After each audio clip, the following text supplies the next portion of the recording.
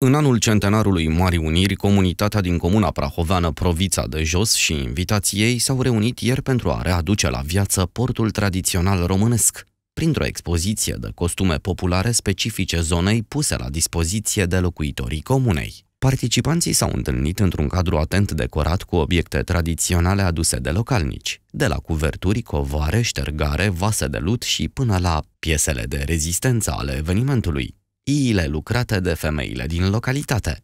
Creatoarele acestor adevărate podoabe vestimentare le-au vorbit invitaților despre dorința de a transmite mai departe această artă aleasă a cusutului cămășii tradiționale românești. Pentru prima dată au stat față în față o generație care preț de zeci de ani a cusut iile recunoscute pe întreaga vale a Prahovei și câteva tinere eleve de la școala generală Provița de Jos, dornice să pătrundă tainele acestei arte. Organizatorii doresc să continue povestea ei, deoarece evenimentul de ieri a arătat că există atât bunăvoință de a transmite cunoștințe, cât și dorință de a învăța.